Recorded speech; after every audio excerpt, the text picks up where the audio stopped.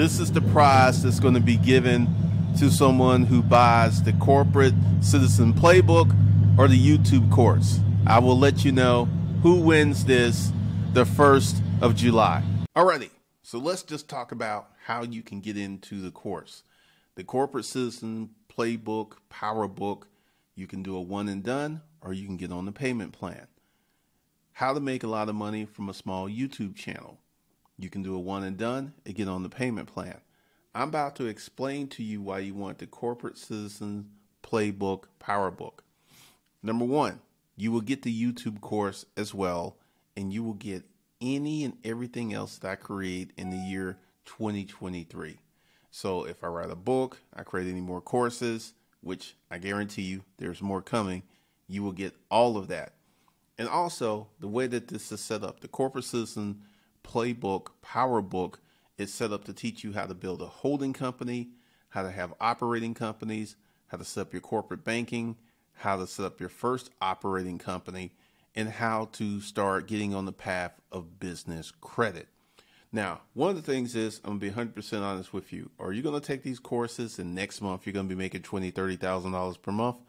No, it's not going to happen. But let's go a little further ahead and let's say this time next year, you get in, you're going to learn so much that you could be one of the people making twenty, thirty thousand dollars per month. I will have people who will do that, and then some people it'll take a little longer. But I want you to start thinking in the greater scheme of your life. I want you to start thinking about not just today, but tomorrow, and the year after, and the year after, and the year after, because I have a very important video that's coming up after this commercial that's going to be getting into the deepness of building businesses, making money, and you want to be part of it. So once again, the YouTube channel, you can do the one payment or you can do the payment plan. The Corporate Citizen uh, Playbook Power Book, you can do the one and done and the payment plan. And this is how you can get in, and the access to these courses will be in the description box and in the first comment. And once again, you need to go ahead and get in because the sooner that you start, it's the sooner that you'll start realizing your dreams and ambitions. So that's all I got for you. So let's roll into this next wonderful video. Man, I used to be so broke. I'm talking broke, broke. I'm talking about so broke that I didn't have enough money to put gas in my car to get to work. And that was a long, long, long time ago. This is nothing recent, but one of the big issues that I had was I was not financially literate. I was not financially educated. I I didn't really have huge spending problems my big problem was life costed too much. I would remember living in these apartments and doing certain things because I had to, not because I wanted to, because I had to.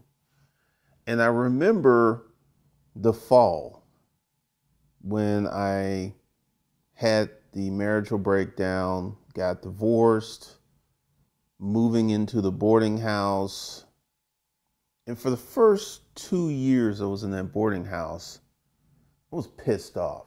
I was extremely pissed off. I was just, I was upset at everyone. I was upset at my ex. I was upset at the world. I was upset at my friends because here's the thing I never cheated on my wife, I never abused my wife.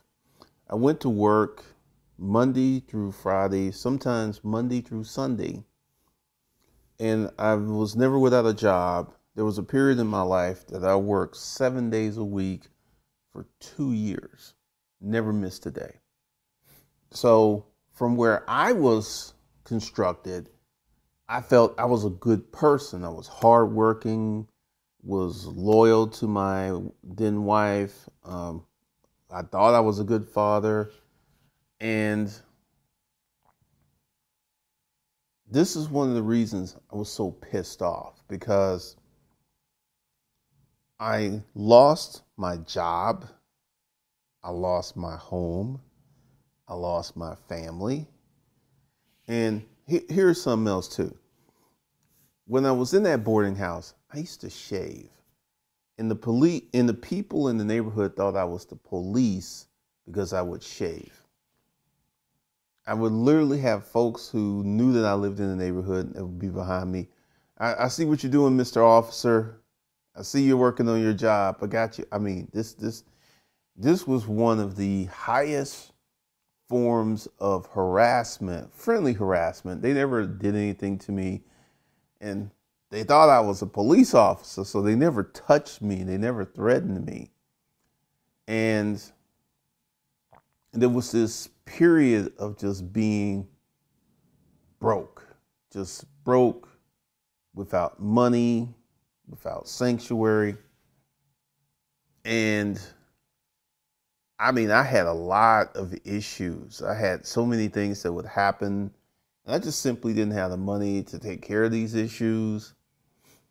And then about 22 months into it, was in the bathroom and uh, it was a morning of reckoning. It was a morning where I actually had to be accountable.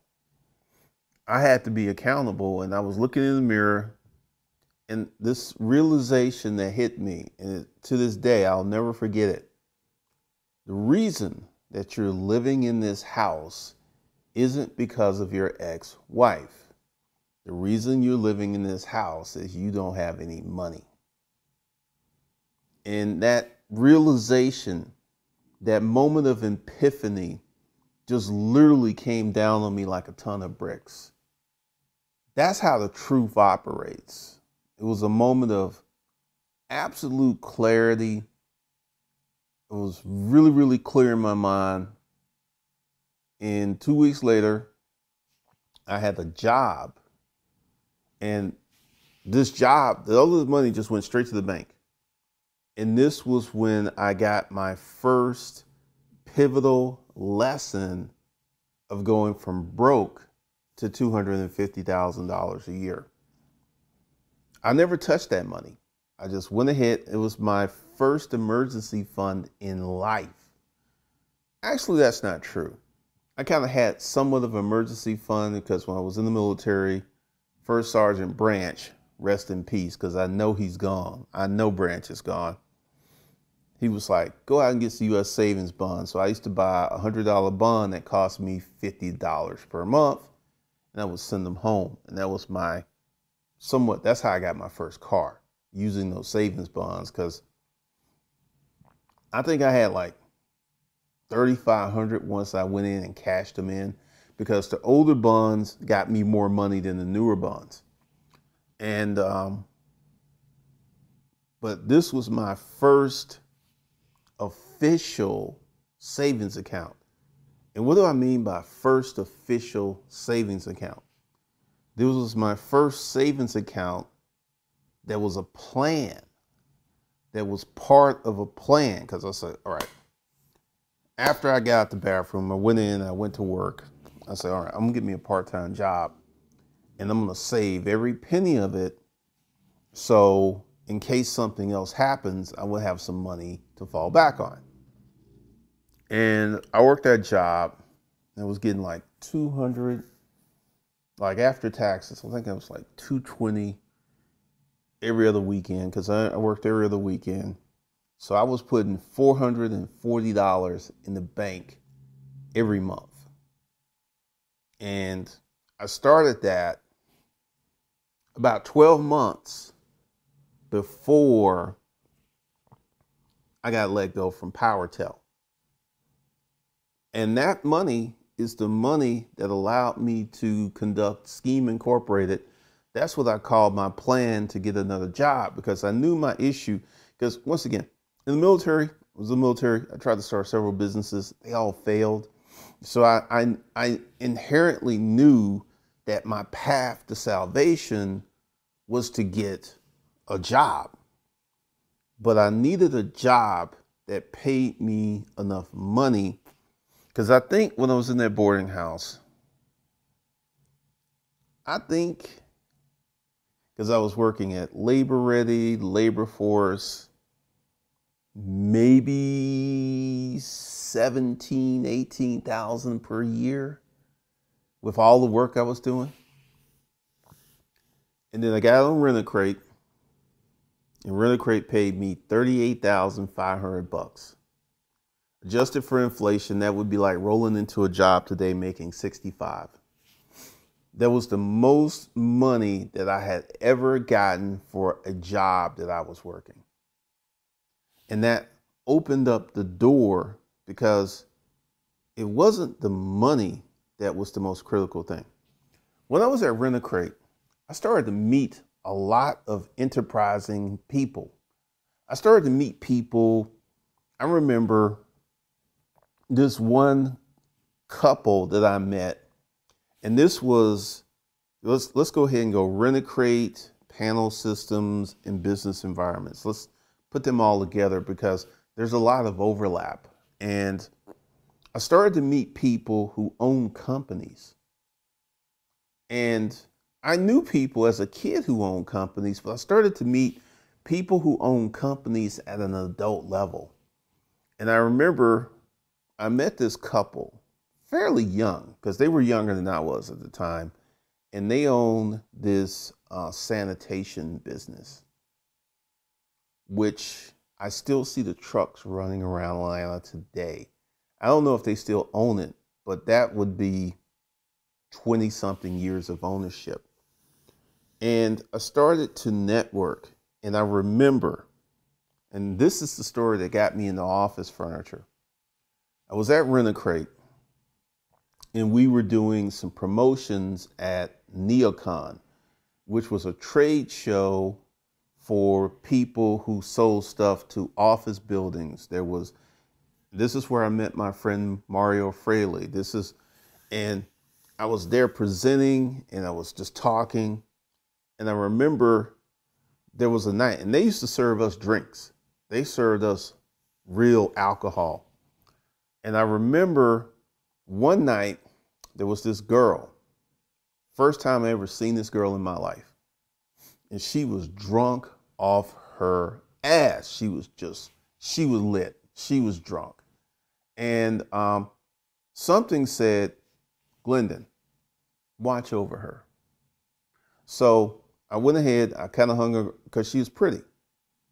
Her name was Lynn Fraley not Mar- not Lynn Fraley. Lynn, we'll leave her last name out of it. And um, I watched over, her and I was like, you know, I got, I got. Like, where are you staying? She says, oh, I'm in the hotel upstairs. Here's my room key. Ha ha ha ha. And she gave me her room key, and I took her to her room, and then I, I just put her to bed. She laid down, bam, instantly passed out and I just kind of hung out, walked on the balcony, hung out for a while. And about three o'clock, she woke up and she was like very hungover but sober. And she woke up and she's like, What happened? And um, this this story is kind of convoluted because at the bar when she was still drunk, she was like, I sell office furniture and I made $185,000 last year. And I was like, wow. Because, you know, at that time, I did not know anyone who made that kind of money. And this is one of the reasons that I decided to look out for her. And I looked over her, put her in the bed, left her fully clothed. And then she's like, man, you brought me to my room? And, you know, she knew she was clothed, nothing happened, and she was like, wow. And we became the best of friends. And then she pulled me into her world. And that was my first networking connection with someone who can actually do something. You know, you know, Lynn just put in a word with um, some people, and this is how I got into selling office furniture. Uh, I remember the conversation and dude didn't even look at my resume. I literally just walked in, got this job by association. And um, it, it was, and that was essentially how I got the job before the job with the office furniture. They didn't even look, they knew me because of my connections, because of the circles I was running at. And I learned that relationships were critically important and critically important to getting me out my situation. And then this is how I worked my way up to business environments. And because I want you to think this this happened really, really fast. Because this happened much faster than the time I was in the boarding house. I was in the boarding house three years. And this happened like rent a crate, panel systems, business environments, boom, boom, boom, boom, boom. And then my first real business opportunity. Had a client, it's like, we got all this used furniture. If you help us sell it, we'll buy new furniture from you. Boom, first business. Made $250,000. That first business changed my life because up until um, 2011 going into 2012, I think when I got to 2012, I think I had about $340,000 in the bank. I think. It gets a little fuzzy. But that source, that that that source of income, that source of money, that funded the uh, storage auction business, that funded the YouTube business. Uh, I have not been anywhere close to broke 20 something 24 years and that that's one of the reasons that I have the views about money because I know the power of having cash on you. You know, um, Grant Cardone, in many in many regards, is a charlatan. Cash is not trash because with 80% of the population making less than 35,000, 80% of the population would love to have $50,000 cash. I know this for a fact because when I was that broke person, man, if I could have had $50,000 cash legally, it would have changed my life. And essentially, that money was the seed money because until I got to 2012 and my first seven figure year, and after taxes, because I had that 340, I had a million dollars in the bank. And I was living pretty frugally.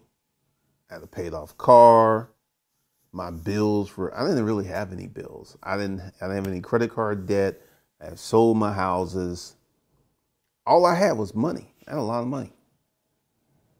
And that was the beginning of all the stuff that you guys see today and this is one of the reasons that like you know i think i, I talked about in some videos i was going to get into real estate. Honestly i would need more money before i let that money go because that money has always been it's, it's more money now. It's, it's a lot more money. And essentially from a personal experience level if I have that money, I know I'll always be safe and protected. And that's one of the reasons that I like I let go a bunch of money to get in the car rental business. And, you know, through the holding company strategy and all this other stuff, that really wasn't that big of a deal. But one of the things that I really, really am thankful for and I enjoy is all of these lessons that I have learned, all of these lessons that I have absorbed, all of these lessons that I have personally been through and I have learned and I know. Because, you know, there, there's a lot of talk on the internet about, you know, going into this business and then quitting your job And this is one of the reasons that I don't talk about that because essentially I know that the beginning of your business is going to be challenging, it's going to be stressful, and it's going to be hard. And I know that if you keep your job, you will have money to buy food, to pay your bills. And then this, leaves the money in the business to grow the business because this is something I've consistently said. If I needed to go out and buy a million dollar warehouse, I could do it. I could just do it straight off cash flow if I had that need. So there's always, you know, if I need something for my business, I just get it because I don't have to wait to get paid to get it. And this is one of the things that I reason I preach the things that I preach, the things I say is from personal experience. Knowing that I have been through these things and knowing that the power of having this, this is one of the reasons like I got 1.2 million dollars in credit, like 500,000 in personal credit, 750,000 in business credit, and I don't have nothing on it. And I consistently see videos, I consistently see videos like you should use this credit to invest. And personally, I know that a lot of businesses can be started for, I'll say, under 20,000. A lot of businesses. And that's that's the key because this this is the personal experience talking. When you have a business that you have to keep borrowing money to keep that business going, you're you're you're pretty much on suicide watch. But if you're running a business that makes cash and consistently cash, then that cash can start to stack up. And I, I see so much bad business advice on the internet. You know, Grant Cardone, cash is trash. Grant Cardone, I couldn't survive on 400,000. I'm like, 95% of America doesn't make $400,000 a year. If most of America got $250,000 income boost like this, this would be a different country literally overnight. And, you know, I see, like I said, a lot, and this is one of the reasons because I put up a video for those, because I got people, it's like, hey, I know how to manage money. I got six figures. I got, you know, I've even had I, will I'll, I'll talk about this. I've had NBA players and NFL players contact me through this YouTube channel. And the advice has always been the same. Hey, you need to get on the budget and you need to start a business that you know how to run. And I, I've told all of the guys, it's like when you start giving people access to your money where they can start doing stuff, this is how you're going to end up broke because number one, they ain't taking those hits. They're not on that field. And they're not going to respect your money in the high regard that you respect. And one of the NFL players, he was like, I wish I had met you before I got into some business dealings because at the moment I've lost about $4 million for the very thing you just told me not to do. And I told all of them, Never give anyone access to your checking account. If there's a business deal, you need to sign the check. You need to be aware of it. Never, never, never give anyone access to your checking account because this is when you will find out who people are. So I've helped NFL players, players. I've helped NBA players. And once again, I'm not mentioning any names because these guys came to me in some various and interesting ways. And um, it, it, was interesting with the businesses and things that I helped them create, the things I helped them do.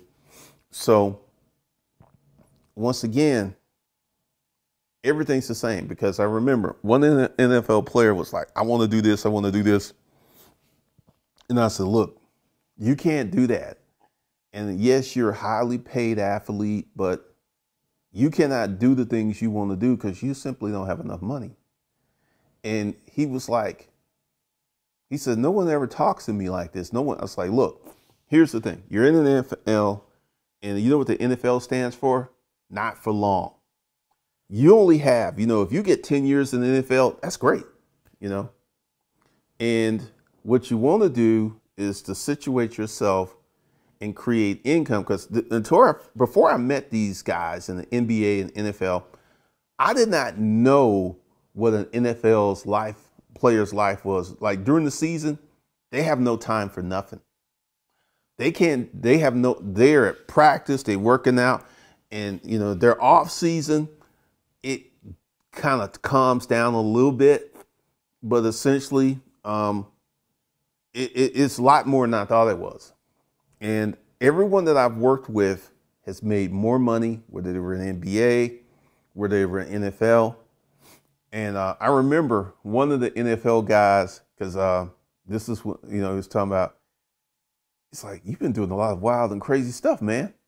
Because, you know, I, I, was putting out a lot of stuff. And um, one of the things that I'm proud to say is I'm able to help people because I'm going to tell you the truth.